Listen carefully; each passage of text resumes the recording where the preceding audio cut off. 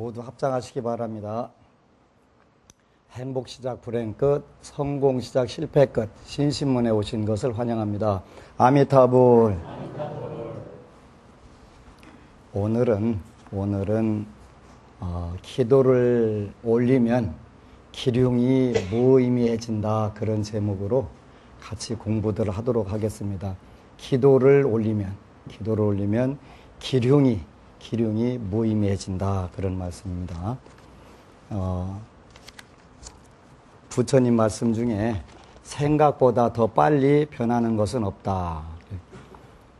부처님께서 사위성 기원정사에 계실 때 젊고 잘생긴 한 사나이가 부처님께 인사드리고 여쭈었다. 자식보다 더 사랑스러운 것 없고 소보다 더 귀한 재물이 없으며 태양보다 더 밝은 것이 없고 바다보다 빨리 흐른 것이 없나이다. 부처님께서 다음과 같은 개송으로 말씀하셨다. 자기 자신보다 더 사랑스러운 것이 없고 곡식보다 더 귀한 재물이 없고 없으며 지혜보다 더 밝은 것이 없고 생각보다 더 빨리 변한 것이 없느니라. 그래서 어, 중생들의 관점과 부처님의 관점을 서로 잘 표현을 해주신 그런 부분들인데요. 그래서 지혜보다 더 밝은 것이 없고 어, 생활 법문을 하다 보니까 많은 불자들이 그 찾아와서 대화를 하게 되는데 이제 공통적으로 딱 두 가지로 나눠지는 거지. 하나는 그 쉽게 말하면 잘 나가는 사람과 잘 못 나가는 사람하고 두 부류가 있는데 어느 차이가 나냐면은 요 지혜가 지혜의 차이인 것 같아요. 지혜의 차이. 그러니까 무슨 이야기를 하면 그 우리가 우리 생각대로만 사라지지 않는 것이니까 내 힘으로만 안 되는 것이니까 누군가를 의지를 해야 되고 누군가를 의지한다는 것은 그 지혜를 빌어다 쓰는 거잖아요. 근데 그 지혜를 빌어다 쓰는 부분에서 문제가 되는 거예요. 어느 분이 저는 아직 부처님을 믿거나 의지할 생각이 없습니다. 그런, 그런 이야기를 하더라고요. 그래서 너 지금 아주 어렵고 힘들 텐데 왜 의지를 안 하냐? 우리가 등산을 하더라도 스틱을 하나 짚으면 20% 힘이 그 줄어들어서 두 개를 하면은 훨씬 쉽다고 요즘은 죄다 두 개씩 스틱 들고서 등산하더구만요. 그런 것처럼 지팡이를 그 가지고 산에 올라가는 거하고 안 가지고 올라가는 거하고 차이가 많이 나는 것처럼 우리 인생에 있어서도 내 힘으로만 살겠다 하는 것보다는 어느 분인가 우리보다 훨씬 지혜도 있고 복덕도 있고 또 능력도 있는 그런 분들을 의지해서 간다면 훨씬 더 좋아질 텐데 그거를 나는 아직 부처님을 믿고 싶지도 않고 공부하고 싶지도 않고 의지하고 싶지도 않습니다. 그 참 대단한 이야기로구나 하는 생각을 해가면서 아 그렇지 너는 아직 운이 없어서 아직 고, 고통이 한참 많이 남았지 하는 생각이 들더라고요. 그렇게 그 고통이 많이 남아 있으니까 어떻게 든 아무 때고 그 고통이 해결될 때쯤 돼야 그 말귀가 열리는 것이지. 그래서 참 억지로 안 되는 게 세상에 많이 있기는 하지만 그것도 어거지로 안 되는구나 하는 생각을 해봤어요. 그래서 기도를 올리면, 기도를 하려면 기륭이 무의미해진다. 그랬다면 우리가 살면서 어, 기륭이 없을 수가 없어요. 그죠? 매사 껌껌이 기륭이 판가름 된단 말이에요. 그런데 우리가 기도를 하는 이유는 부처님께 달라고 하는 이유도 뭐냐면 이런 기륭을 첫 번째는 없애고자 하는 마음들이 있고 그 뒤에는 기륭을 초월하는 마음들이 자기도 모르게 자연스럽게 형성된단 말이에요. 그래서 그 많은 분들이 와가지고 저한테 물어요. 기륭에 대해서 묻지 언제쯤이나 제가 이 가난을 면하겠습니까? 경제적 고통을 면하겠습니까? 물어요. 당연한 거예요. 그렇지. 언제나 제가 건강해져 가지고 건강하게 생활을 할수 있겠습니까? 당연히 물어요. 그런데 그 더 좋은 것은 기륭보다 기륭보다 더 중요한 것은 어떻게 우리가 살 것인가 하는 걸 묻는 게 더 중요한 것 같아요. 저한테 많은 불치병, 난치병 환자들이 와서 언제나 낫겠습니까? 묻는 경우들이 있어요. 근데 그 성취하고 못하고 하는 것은 전, 전적으로 본인들의 마음 자세, 마음가짐에 달렸다는 생각을 참 많이 해요. 내가 이 그 병을 낫고 건강해지면 나는 어떻게 살겠다. 나도 물론 건강하게 살, 살지만 남들에게도 내가 이로운 사람이 되겠다. 그런 마음을 가지면 굉장히 생각보다 수월하게 낫는 거예요. 왜? 그게 원래 부처님이 여러분들에게 기도를 시켜서 그 건강한 몸과 건강한 정신 또 풍요로운 경제를 보장해 주시는 궁극적 이유가 되는 것이니까요. 그래서 그 기륭보다는 사실은 어떻게 살, 사는 게 잘 사는 것이겠습니까? 하고 물어야 되는데 뭐 워낙 밑바닥이니까 기름부터 물어야지 어떡하겠어요. 그러지?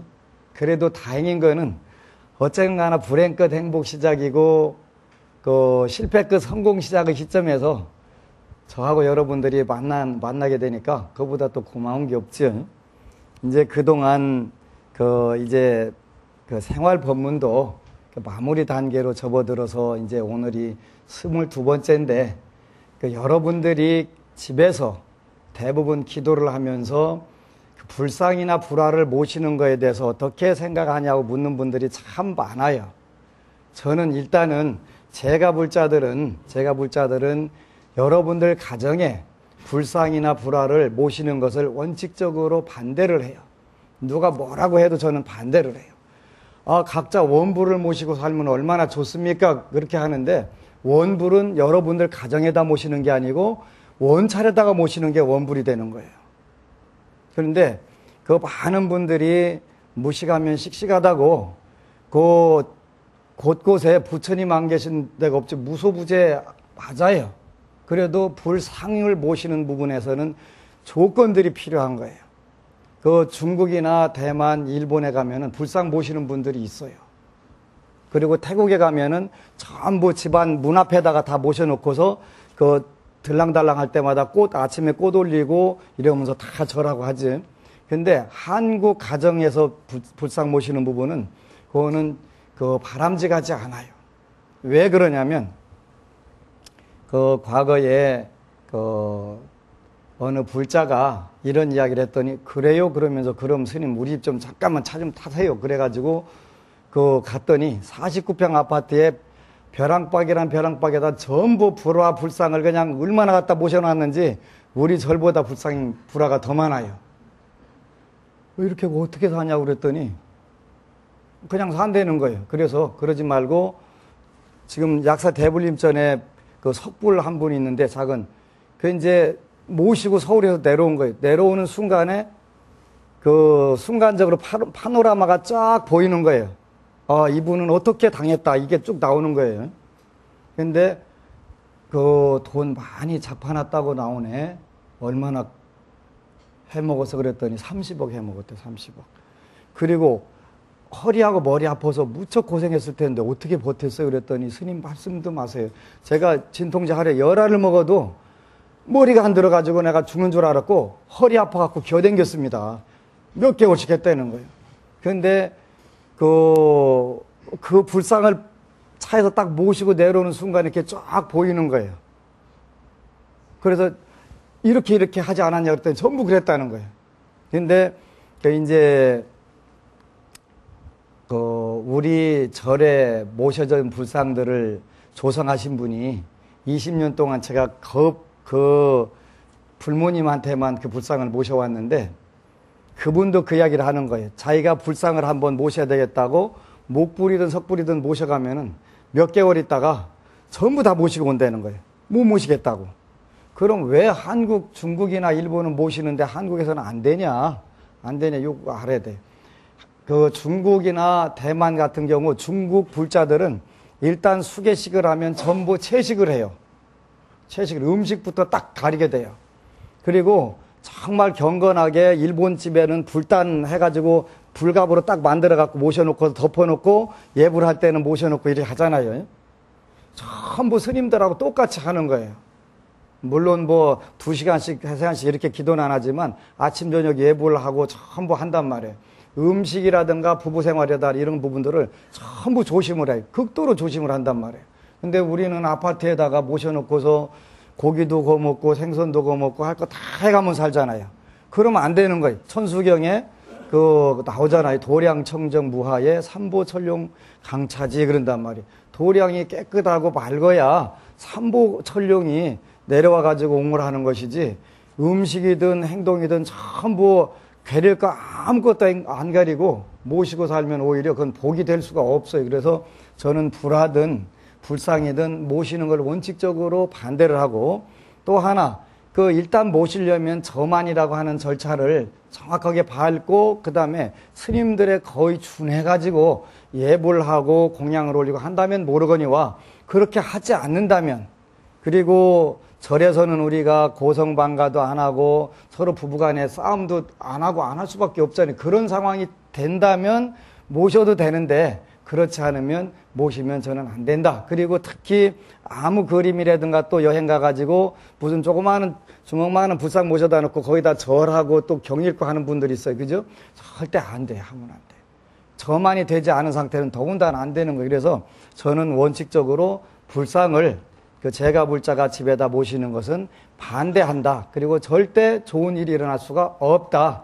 꼭 하려면 스님들과 똑같은 형태로 그렇게 모시고 예배 공양을 올리려면 그 정도가 된다면 해도 된다. 그렇게 하기 위해서는 음식이라든지 부부 생활이라든지 언어 생활이라든지 이런 전반적인 부분들을 전부 극도로 절제를 할 수 있다면 그렇다면 그 조금 다르지만 그런 상황에서도 그 불보살님들 상을 저만을 하고 올바로 이렇게 모실 때만 가능하다. 그렇지 않으면 전부 다 난리가 벌어지게 돼 있어요. 많은 분들이 대들어요. 왜 그 처처의 불상이고 그 부처님 안 계시는 데가 없는데 왜 그러냐. 근데 그거는 현실적인 문제는 아니에요. 많은 분들이 그 택일에 대해서 이야기하니까 일일시 호일인데 나날이 좋은 날인데 나쁘고 좋은 날이 어디 있냐? 있지요. 비 오는 날은 남학신 장사가 우산 장사가 잘 팔리는 것이고 그 날 쨍쨍 내리쬐 날은 아이스크림 장사가 잘 되는 게 당연한 거예요. 그래서 일일시 호일이라고 하는 것은 부처님 단계에서 그리고 심리적으로 특별히 나쁘고 좋은 날이 없는 거예요. 그래도 우리가 바이오리듬이라든가 여러 가지로 오늘 컨디션이 어떻다, 정서상으로는 어떻다, 신체의 그 컨디션 어떻다, 전부 다 그거 찾아내가지고 써먹잖아요. 활용하잖아요. 그런 것처럼 일일시 호일 단계에 들어가면 기륭이 없어진단 말이에요. 그러니까 우리가 기도를 꾸준히 하다 보면 기륭이라고 하는 개념들이 그걸 뛰어넘으니까 관계없는데 여러분들까지 완전 왕초보 생초 초자들은 그렇게 되질 않아요. 그러지. 그래서 기도를 해서 어느 단계 여러분들이 신법을 터득한 단계가 되면 그때부터는 문제가 되질 않은데 일단은 여러분들이 그 단계에 올라가는 게 쉽지 않아요. 쉽지 않아요. 그래서 그 단계에 올라가려면 적어도 수다원과라도 올라간다면 모르거니와 그렇지 않은 상태에서는 되지 않는단 말이에요. 그래서 착각을 하시면 안 돼요. 그래 원불은 원차례다 모셔라. 원차례다 모셔라. 그렇게 하는 거예요. 어, 그래서 첫 번째 불상이나 불화는 제가 불자들이 집에다 모시는 것보다는 절집에서 불사를 할 때 동참 불사를 하거나 원불을 모셔가지고 그 요리 그 예배 공양 올리는 것이 잘하는 것이지. 그리고 여러분들이 여러분들 다니는 원찰에다가 그 혹시 촛대라도 하나 그 사다 올려놓으면 항상 가가지고 촛대가 안녕하신가 안 하신가 잘 확인하잖아요. 그러지. 반드시 그렇게 하게 돼 있어. 그러다가 촛대가 조금 그 제대로 관리 안 되면 열받아갖고 막 주지 스님한테 따질러 오잖아요. 내 촛대를 왜 이렇게 하냐고. 아, 촛대라는 건 물질이기 때문에 언젠가 그, 그건 부서지게 돼 있는 거예요. 그래 너무 그냥 그거 가지고 속상해 하지 말고 올렸다는 것 자체에 공덕이 있는 것이니까 원불도 마찬가지 그러죠. 물론 여러분들이 내 원불이 내가 모셨던 원불이 안녕하신가 안 하신가 자주 가가지고 확인하는 것도 좋은 거예요. 참 좋은 거예요. 그래서 1년에 한두 번 가지 말고 자주 가가지고 여러분들 원불이 안녕하신가 확인을 하시도록 하세요. 그게 기도고 공부예요. 그래, 한 번 온 사람보다 두 번 온 사람이 당연히 공부도 잘하고 부처님 법도 잘 그 공부할 수 있는 게 당연하겠지요. 그, 어, 부처님 말씀에 이런 구절이 있더라고요. 잘못을 저질렀을 때 어리석은 자와 슬기로운 자의 차이가 난대요. 뭐 했을 때? 잘못을 했을 때, 저질렀을 때. 그래서 그 이렇게 나왔네 부처님 말씀이 세 가지 특징을 갖추면 어리석은 자임을 알 수 있다 그랬네요. 그러니까 이제 여러분들이 잘못 저질렀나 안 저질렀나 이제 지금부터 확인해 보는데 세 가지 특징이 있대네요. 부처님께서 말씀하신 것. 첫 번째는 잘못을 잘못이라고 보지 못하는 것. 참 많아요. 그러지요? 잘못을 잘못이라고 보지 못하는 거예요. 그러니까 그 자기 고집으로 팍팍 얘기가면서 나만 옳다 이런 생각을 하는 거예요. 며칠 전에도 어느 부부 노 부부가 오셨어요. 근데 저 앞에 앉아 있으면 참 재미있대요. 왜 재밌냐 그랬더니 제가 그 여보부님들한테는 남편 욕을 좀 해드려요. 안진상사에 때. 그러니까 남편 욕하는 거에 대해서 그렇게 고소하고 재밌대요. 그러면 이제 한쪽만 해주면 그 불공평하니까 또 우리 여보부님 욕도 좀 해줘야 또 남편이 스트레스 해소도 되고 카타르시스가 오기 때문에 또 그것도 제가 해줘야 되잖아요. 그래서 그 거사님이 되게 꼼꼼한 분이에요. 그래서 이제 그 보살님한테 물어갖고 당신 남편이 딩동하고 그 퇴근해서 들어오면 당신은 어떤 생각이 드세요? 그랬더니 그냥 표현 못 하시겠지요? 그랬더니 못 하겠대요. 제가 대신 표현해 드릴게요. 제가 표현해 드릴게요. 그랬더니 그 이제 속으로 그 욕을 하는 거예요. 오늘은 이제 좋은 말로 표현할 때 저 양반 와가지고 뭘로 나를 갈굴라나 이렇게 하는데 거기다가 양반을 사실은 그 이제 새끼라고 이러는 말로 이렇게 싹 그 바꿔가지고 제가 해드려요. 그냥 저 양반 하면 실감이 안 나니까 누구한테 남편한테 그랬더니 막 박수치고 너무 좋아하는 거예요. 그냥 그 순간에 스트레스가 확 다 풀린 거예요. 남편이 무한하잖아요. 그래서 이제 제가 사실은 굉장히 좋은 거 가르쳐 드리려고 당신을 욕을 했습니다. 미래에 당신이 그 8년 동안 중풍을 알아가지고 여태까지 부인을 못 살게 굴은 그 업을 다 받아야 되는데 제가 그 소멸을 시켜드리려고 이렇게 제가 그 방편을 쓰는 겁니다. 오늘부터는 당신이 가서 집안 청소랑 다 하세요. 신발 정리부터. 그러면 틀림없이 8년짜리 중풍이 그 순간에 다 소멸될 겁니다. 나중에 괜히 그 중풍 맞아가지고 서름, 온갖 서름 다 당하는 것보다는 지금부터, 지금부터라도 부인에게 잘 보여가지고 신발도 정리하고 숟가락, 젓가락도 갖다 놓고 이불도 정리하고 이렇게 미리 충성을 하라고 그때를 위해서 그랬더니 하시겠습니까? 그랬더니 8년간 중풍하는다는데 제가 그걸 막는다면 무언들 안 하겠습니까? 일단 성공한 거예요. 그지? 두 번째는 이제 그 거사님만 그렇게 해놓으면 불공평한 거니까 그 당신 욕도 제가 한번 해야지요. 그랬더니 당신 참 성질 못돼 먹었네. 제가 그렇게 했더니 옆에 또 거사님이 박수 쳐가면서 좋아하는 거예요. 그냥 속이 시원하다고. 그래가지고 앉은 자리에서 다 풀고 갔어요. 이렇게 이제 잘못을 잘못이라고 보지 못하는 게 문제잖아요.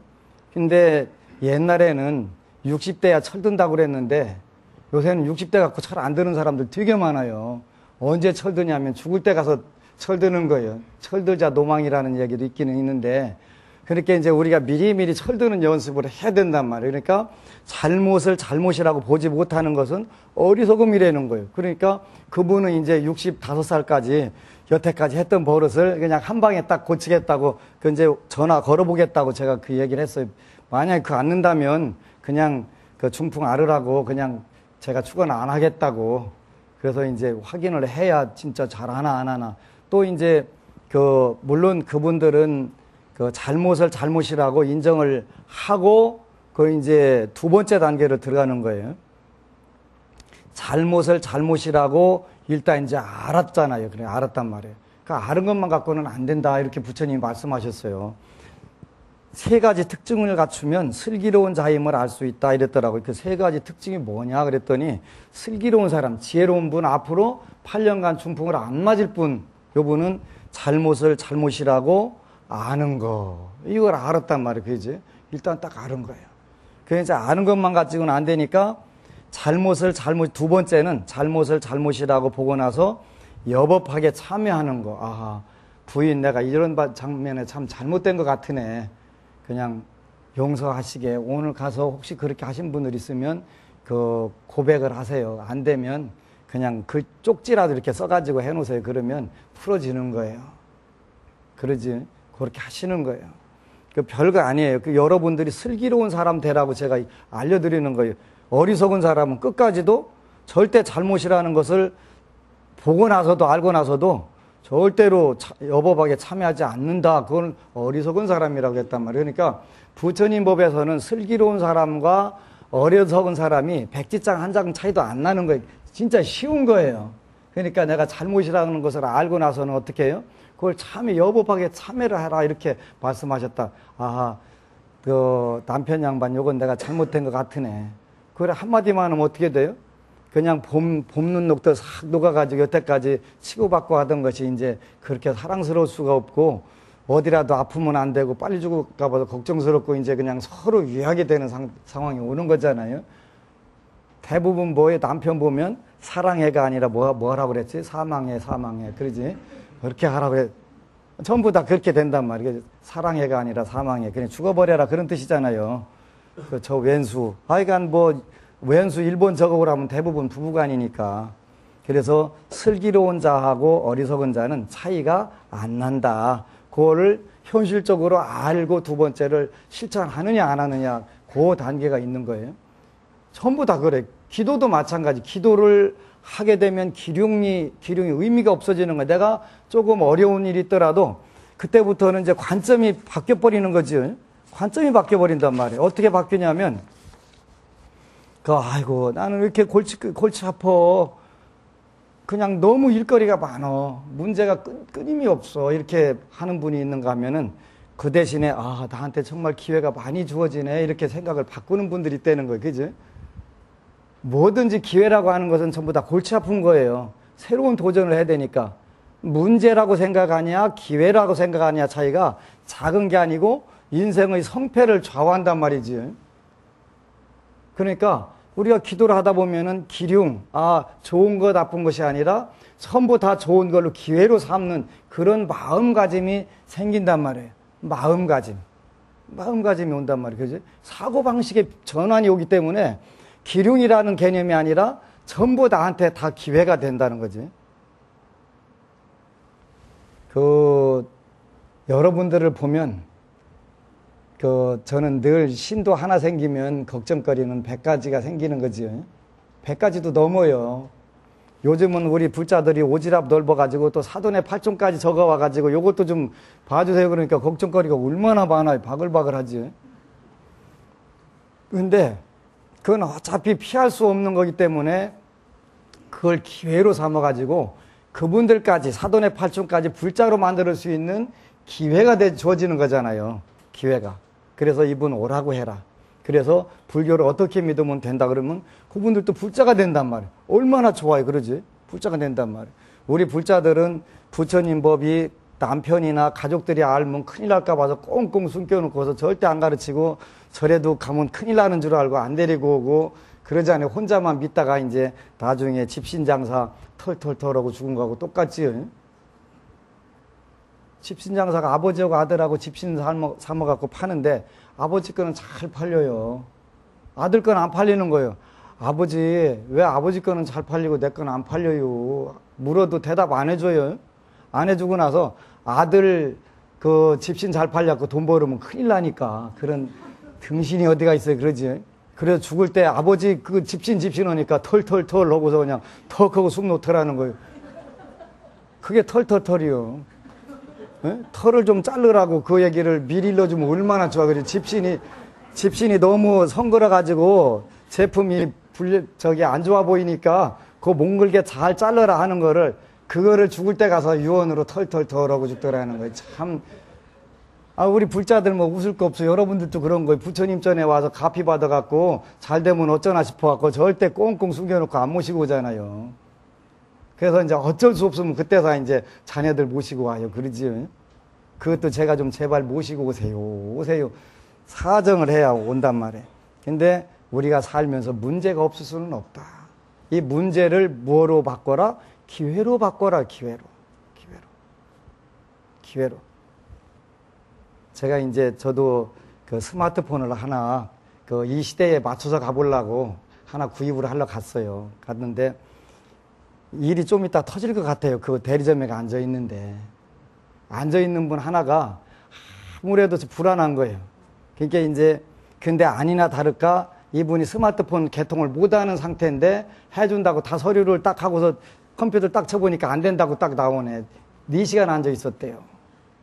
그다 그냥 나가라고 하니까 아이고 재수 없어 아이고 재수 없어 계속 그냥 소리를 빽빽 질러가면서 재수 없어. 근데 제가 처음 볼 때부터 그분은 저분은 재수 없게 생겼다 이렇게 제가 생각하고 있었는데 딱 그 본인 입에서 어 재수 없어 재수 없어 하더라. 나 재수 없어 나 재수 없어 그러더라고. 근데 마음가짐도 재수 없는 거예요. 그거 안 되는 걸 어쩌라고 그 직원한테 가서 그냥 재수 없어 욕을 하고 가면 뭐 할 거예요 그지? 근데 그때도 이제 그 직원이 조금 더 신경 쓰게 할 수 있는 방법들이 있단 말이에요. 어차피 미안해요. 못 해주는 거. 그잖아요. 여러분들도 마찬가지예요. 요즘에 이제 그 뭐, 갑, 을 이렇게 표현하잖아요. 갑은 그 권리, 권리자고 을은 그 의무자 이걸 갑, 을 이렇게 표현을 해요. 그런데 여러분들도 갑도 될 수 있고 권리자가 될 수도 있고 의무자가 될 수가 있어요. 근데 어느 분이 이제 미국에서 한국 오는 비행기를 탔는데 그거 보고 우리가 티켓팅이라고 하잖아요. 비행기에 딱 타보니까 예쁜 아가씨가 자기 자리에 딱 찾아가 앉아 있는 거예요. 그래서 이제 보니까 그분 또 표가 그 자리가 맞는 거예요. 그럼 여러분들 어떻게 돼요? 열받지요. 이게 큰 항공회사에서 세상에 표를 어떻게 중복으로 끊었냐고 이 따위가 어디가 있냐고 소리 빽 지르고 시작해야 되잖아요. 주로 그렇게 한단 말이에요. 우리 한국인들이 더히 심해요. 근데 이 아저씨는 이제 스튜어디스를 조용하게 부른 거예요. 표가 이게 중복이 됐네요. 근데 저는 저 이쁜 아가씨 무릎에 앉아 가도 되는데 어떡할까요? 이렇게 아 이쁜 아가씨 무릎에 앉아 가면 좋지 뭐그 끝내주잖아요. 그러니까 그 스튜어디스가 싱긋 웃어가면서 그 economy class에서 business class로 한 단계 높은 데로 그 되게 비싼 쪽으로 딱 가갖고 자리를 주더라는 거예요. 거기서 만약 열받았으면 그 아가씨가 business class로 가고 본인은 economy class로 가는 거예요. 근데 열 안 받고 싹 그냥 그때 유머로 탁 돌리니까 어떻게 돼? 어, 그 더블, 더블로 비싼 좌석 가가지고 그냥 널널하게 오는 거예요. 그러니까 그 문제라고 생각하냐, 기회라고 생각하냐 하는 건 우리한테 늘 오는 거예요. 수시로 오는 거, 수시로 오는 거. 그거를 여러분들이 어떤 마음가짐으로, 어떤 사고방식으로 거기에 접근하냐에 따라서 그냥 그 스튜어디스도 되게 기분 나쁘게 만들고 economy class 갖고 바짝 졸여갖고 12시간 비행기 타느냐 아니면 널널한 business class 가가지고 그냥 신나게 오느냐 하는 차이가 마음가짐 차이란 말이에요. 문제냐 기회냐 우리가 여러분 불자들은 늘 그거를 생각해야 돼. 그게 왜 부처님 법이 신법이니까 마음법이니까 마음가짐을 어떻게 가느냐에 따라서 기륭이든 행복 불행이든 성공 실패든 거기서 달렸다는데 부처님 그렇게 말씀하셨는데 우리가 그 이치를 모르고서 열 팍팍 받아가지고 에고 재수 없어. 에고 재수 없어. 그렇게 그 직원이 뭐라고 했어 요. 그냥 금생 웬만하면 그냥 계속 재수 없으세요 하고서 속으로 그냥 어 본인도 미안하지만 나갈 때까지 그냥 계속 재수 없어. 재수 없어. 재수 없어 나가더라고요. 그게 이제 참 중요한 부분이에요. 그 임진왜란 당시에 있었던 우리 고승 스님들이 여러분이 계신데 그 중에 서산대사하고 사명대사하고 두 분이 계셨잖아요. 그게 이제 하루는 두 사제간에 여름에 요즘같이 아주 더운 여름에 그 땀을 뻘뻘 흘리면서 길을 가는데 그 농부가 밭에서 일을 하다가 잠깐만 스님들 계시라고 하더니 물을 한 바가지 떠다가 이 물이라도 좀 드시라고 그 떠다 주시는 거예요. 그러니까 서산대사가 축원을 하는 거예요. 시주는 3일, 3일만 사시오. 하고서 축원을 하는 거예요. 그때 옆에서 사명대사가 그때 도, 도통을 못 오셔가지고 세상에 우리 그 스님은 이 더운데 물 떠다 주시는데 어떻게 3일만 사시오 하냐고. 그러다 이제 거기서 맨밥을, 주먹밥을 먹고 물을 마시고서 있는데 조금 있다가 이제 원님이 원님이 행차하다 지나가다 비켜 비켜 비켜 비켜 하고서 그냥 밥 주먹밥이고 물 밥그릇이 그냥 봐가지고 다 깨뜨리고 지나가네.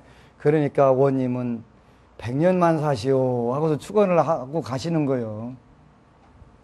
그게 이제 그때는 사명대사가 이해가 안 됐어요.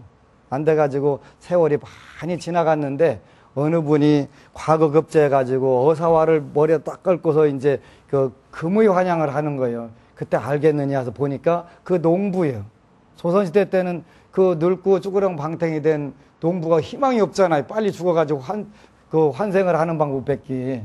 그래가지고 물 한 바가지 떠다 준 그 공덕으로 그 업을 전부 다 소멸하고 양갓집에 가서 그 좋은 젊은이로 태어나가지고 과거급제해갖고 이렇게 사는 거예요.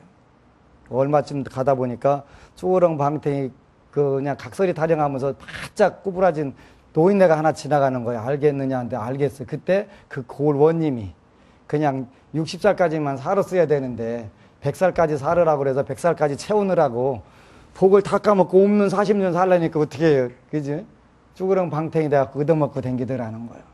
그래서 이제 여러분들도 혹시 근데 이제 그 축원은 잘 하셔야 돼요. 그 잘못을 저질렀을 때 어리석은 자와 슬기로운 자는 첫 번째 잘못을 잘못이라고 아는 거 모르는 것 차이고 두 번째는 알기는 알았는데 여법하게 참여하고 사과하고 하냐 안 하냐 하는 그 차이가 두 번째 차이네요. 세 번째 차이는 어, 다른 사람이 잘못을 지적해도 여법하게 수용하는 거. 이거 참 어렵지. 우리가 뭐라고 누가 얘기하면 너나 잘해. 그러잖아요. 그죠? 100% 그냥 순간적으로 탁 튀어나가는 거 너나 잘해. 아니면 너는 뭐 어쨌다고 그러지. 그래갖고 싸움 나잖아요. 그러죠? 근데 부처님은 뭐라고 말씀하셨냐면 슬기로운 자와 어리석은 자는 다른 사람이 잘못을 지적해주면 그걸 여법하게 법답게 수용하느냐 하지 않느냐에 따라서 가는 거지. 여러분들 부부싸움 할 때 참 재밌잖아요. 그 연애할 때부터 그냥 70노인네가 너는 뭐 그때 연애할 때 잘했냐부터 나오면 이제 서로 그냥 복장 긁기 대회가 벌어지는 거잖아요. 누가 더 상처를 효과적으로 한 방 왕창왕창 잘 주냐 그거 해가지고 그냥 서로 동원해가지고 너 죽고 나 죽자 그냥 그 단계까지 가잖아요. 거기까지는 가지 마세요. 그냥 너 죽고 나 살자까지는 가도 그래도 그냥 다행인데 같이 자포가자 이렇게 하면 손해 나는 거잖아요. 당신이 죽거나 말거나 나는 좀 살아야 되겠다 이렇게 거기까지라도 가야지. 거기까지 가라는 얘기가 아니고 거기까지 가지 말고 같이 잘 살자 거기까지만 가라는 거예요. 그죠? 그래서 슬기로운 자와 어리석은 자는 잘못을 잘못으로 아느냐 모르느냐 아는 것에 대해서 참회를 하느냐 안 하느냐 그 다음에 참에 다른 사람들이 잘못을 지적해주면 그것을 잘 받아들이느냐 안 받아들이느냐가 차이가 난다는 거예요. 그래서 이런 부분들을 우리가 이제 잘 아는데 그래서 우리 인생은 인생은 절대로 문제가 끝나지가 않아요. 그죠? 문제 없는 데가 있죠. 문제 없는 데가 있어요.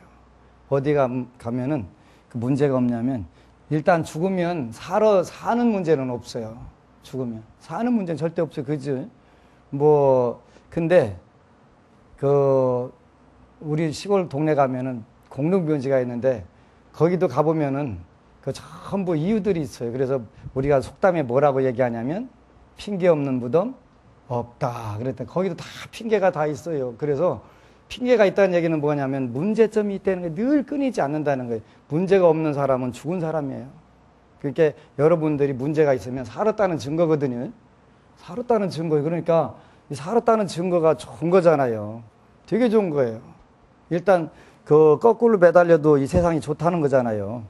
그래서 그 이런 문제를 그 생기면 일단 기쁘게 받아들여 보세요. 기쁘게. 이 기회를 통해서 내가 무엇을 배울 건가?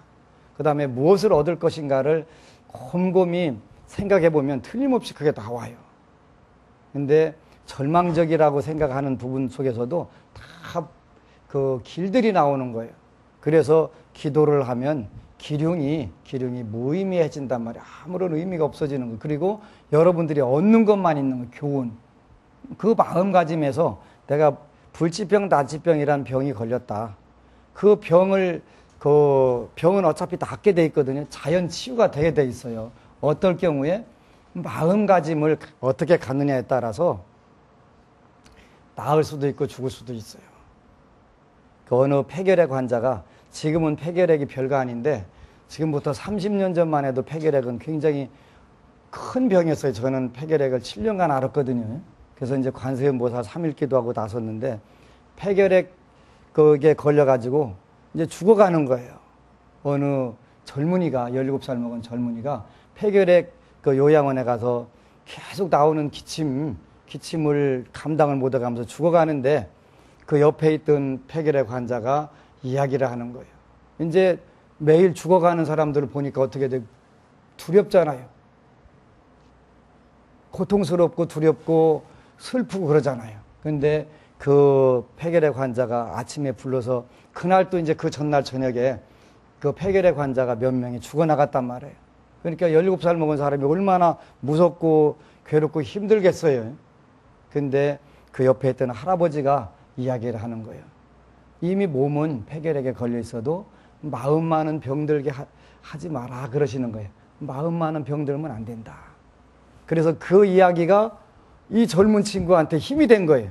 그래, 육체는 내가 폐결에 걸렸지만 마음에 두려움, 공포, 괴로움, 슬픔 이런 것에 병들지 않게 내가 해야 되겠다 그 생각을 한 거예요. 그러면서 그때부터 어떻게 해야 돼요? 이제 육체야 뭐 폐결에 걸렸으니까. 근데 마음에 괴로움 대신에 즐거움, 슬픔 대신에 기쁨, 그 두려움 대신에 희망 이걸로 계속 바꾸는 거예요. 작지만 바꾸는 거예요. 그러다 보니까 어느샌가 폐결핵이 없어진 거예요. 이분이 유명한 미국 대통령 된 분이에요.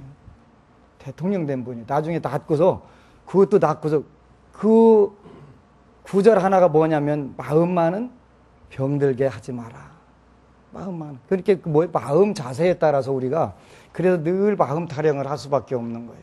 작은 것이지만 여러분들이 실천하면 어느 땐가 기륭이 기륭이 여, 러분들에게 아무런 의미가 없어지는 그런 순간들이 온단 말이에요.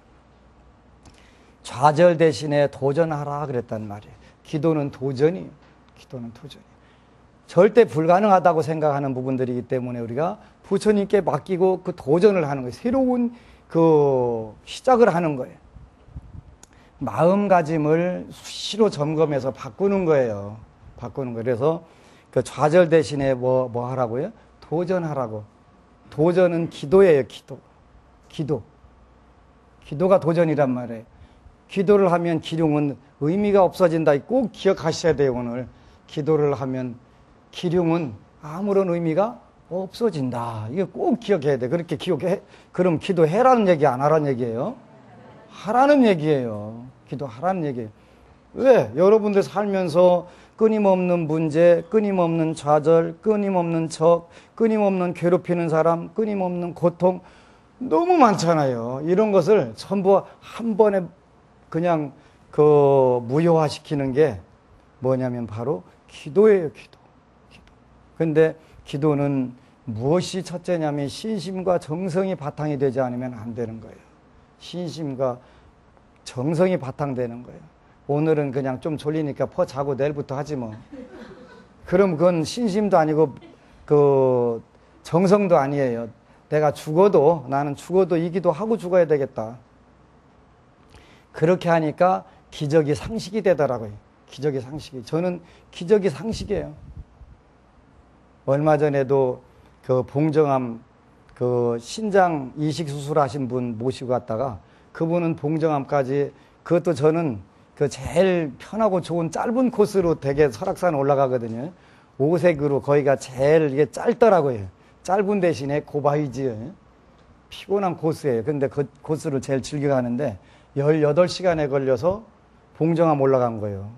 근데 내려올 때는 그냥 정상적으로 내려왔다 그래서 그 대님도 갑시다 그랬더니 예, 두 말도 않고서 안 갈래요 할 줄 알았는데 그게 뭐예요? 문제가 아니라 도전, 기도요, 그게. 기도를 해가지고 자신감을 가진 거예요. 본인이 설악산이 조금 낮은 줄 알았대. 뒷산, 뒷동산 정도 되는 줄 알았다는데, 아, 이, 그, 보통 산이 아니잖아요. 우리나라에서는 제일 길은 코스예요. 근데 갔다 오더니 자신감이 생긴 거예요. 체력에 대해서도 자신감, 인생에 대해서도 자신감, 모든 자신감.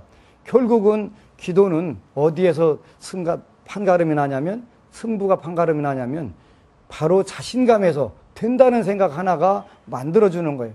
124명 가, 대, 가, 같이 갔는데 한 분도 그 낙오자 없이 아무런 문제 없이 올 수 있는 것은 그게 자신감이에요. 된다는 거. 기적은 상식이라는 거예요. 여러분들 붙잡아 여러분들도 마찬가지. 기적은 상식이 되는 거예요. 어떻게 할 때? 기도를 할 때, 기도를 어떻게 할 때? 신심과 정성을 다할 때. 나 놀고 싶은 거 놀고 하고 싶은 거 다 하고 전부 그러고 마- 그런 거 말고 그런 거 말고 그 소중한 것을 먼저 해야 되는데 그 소중한 것이 뭐냐면 기도다는 기도라는 거예요. 기도. 왜 소중하냐? 여러분들이 운명을 바꾸는 거니까 그게 소중하잖아요. 여러분들이 운명을 따라가고 운명이 주어진 대로 그대로 끌려가려면 기도는 아무런 의미가 없는 거 필요가 없는 거예요. 그러나 그 운명을 과감하게 개척을 해가지고 내 힘으로 운명을 끌고 가겠다는 그런 그 작정을 했다면 기도를 통해서 신심과 정성을 다해가지고 자신을 자신감 갖고 밀어붙이는 거예요. 소원 성취는 여러분들의 믿음, 작은 믿음에 의해서 이루어지는 게 아니라 불보살님들의 가피에 의해서만 이루어지는 거예요. 가피에 의해서만. 그러니까 착각을 안 해도 되고 가장 중요한 것은 여러분들이 여러분들 자신을 감동시키는 것에 의해서 주어지는 거예요. 여러분들의 그 마음을 감동시키는 것. 그게 정성이에요. 그래서 그렇게만 된다면 여러분들은 어느 곳에 그 가더라도 정말 그 불자로서 불자로서 그 거칠 게 없게 되는 거지. 여러분들이 인생의 실패자라고 생각하지 않는 한은 그 누구도 여러분들을 인생의 실패자라고 만들 수가 없어요. 내가 내 스스로 못났다고 생각하지 않는 한은 그 누구도 나를 못난 사람으로 만들 수가 없어요. 여러분들은 정말 소중한 존재고 정말 행복하기 위해서 성공하기 위해서 나온 존재인데 그렇게 못 산다면 이제 오늘부터 과감하게 어제 것까지는 탁, 탁 털어버리고 오늘부터는 그렇게 살으셔야 돼요. 아시겠지?